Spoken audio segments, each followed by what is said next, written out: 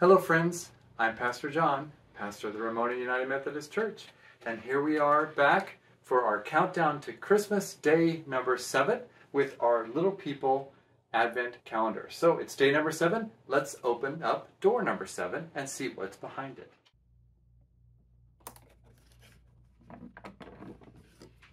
And behind door number seven, we find a sheep. We now have a sheep to add to our scene, our nativity scene. This sheep is covered with all this beautiful white wool. Um, so it's a very woolly sheep. We're excited about that. So that was what was behind day door number seven here on day number seven. Um, thank you for joining us. We look forward to seeing you tomorrow. Have a great day.